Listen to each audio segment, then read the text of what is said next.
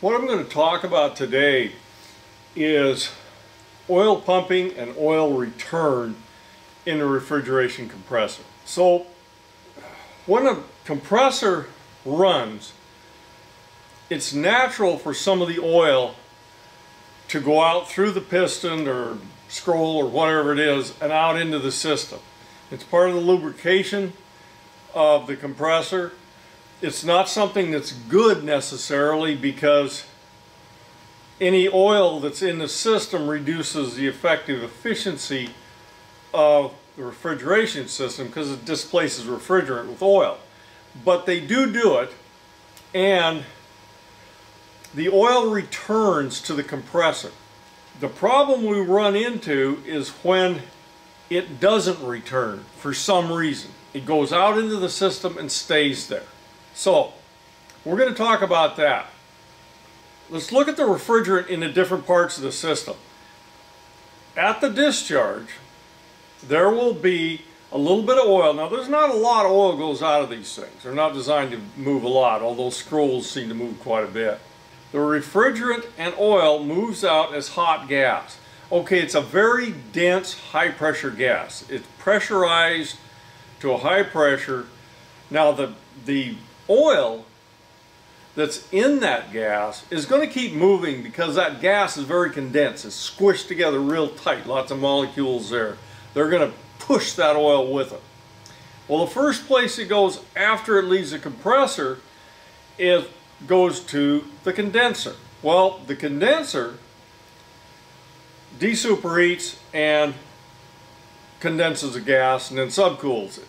Well, once it condenses into a liquid, the refrigerant mixes with the oil so it will stay in uh, suspension in the oil. It won't, there won't be any low spots or anything like that that keep oil once it's made into a liquid. So pretty much from the discharge to the condenser and the liquid line, there's no problem with oil coming back. Where we get into the problem is after the expansion device when the expansion device uh, you know, lowers the pressure on the gas, it does a couple of things. Number one, it uh, makes it less dense. Number two, of course, it does, it cools it off. But when it's less dense, it's more likely to leave the oil behind. Now, it's, it's changing from a liquid into a gas in the evaporator. So as it goes through the evaporator, most of the evaporator will probably still move because there's a lot of liquid still there. That's a mixture of liquid and gas. So it'll kind of flush it down. But when it gets to the end of the evaporator, it's all gas. There's no liquid left. And so the only way it can get back is by the density of the gas and the speed that the gas is moving at. Now, we're going to put us a happy suction line on here, great big one.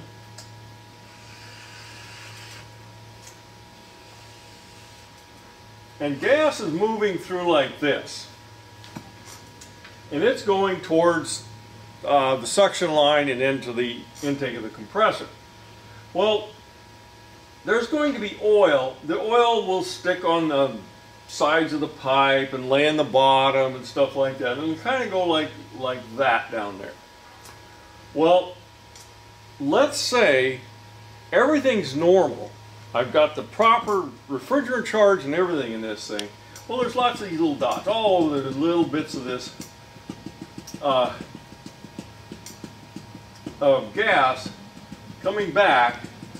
It's going to pick this oil up it's laying on the bottom, some of it's still entrained in the gas, and that is going to carry that oil along.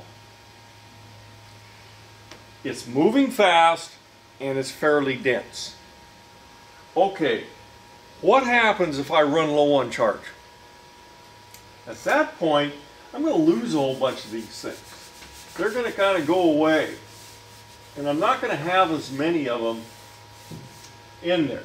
And I'll just have dots like that. Okay, now at that point, it's not dense enough to get this oil to move. And see, the oil is going to get thicker and thicker on the bottom of this suction line. Any low spots, it's going to lay in there.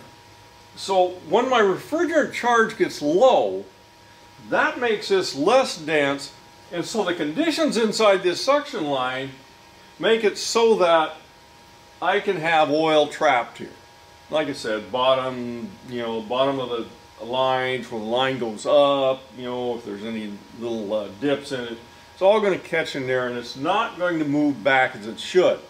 Another thing can cause the same situation is if you have a TXV that is incorrectly set.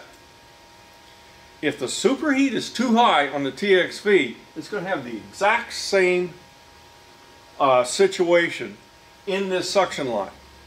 There's not going to be enough refrigerant in there to cause, essentially cause a wind to move the oil back. Uh, I've seen cases where you come on a TXV that is out of adjustment, especially on big industrial ones, you adjust it to the correct superheat and it'll flood the compressor with oil. And perhaps over the years, with this TXV being adjusted incorrectly, oil started staying out in the system. Somebody noticed maybe there's a sight glass, maybe there's a low oil uh, cutout on the compressor. They said, well, gee, we're running out of oil there. So they add more oil. And they keep adding oil because it, it uh, tends to go down. So when somebody comes along and adjusted the TXV to the correct setting and made that gas dense enough that it would pick up the oil, that compressor could conceivably be slugged with oil because there's so much of it comes back. That's one of the issues with that. Most of this, if it's in a residential situation, it's usually because of low charge, and that can cause a compressor failure, as it did in the one I showed you in the video on compressors. That one is linked here in this video. In any case, if I do recharge it, the oil will come back. So if I get to it before the compressor fails and I recharge it, uh, the oil will come back. I've had that happen. I've had it log my uh, gauge sets with oil because uh, where I had my taps on there, it was picking up oil. So that's what it is. It's all about the density and speed of the gas. So don't be surprised if you come to a lock rotor compressor and find out the unit's low on charge. Okay, that's it on that one.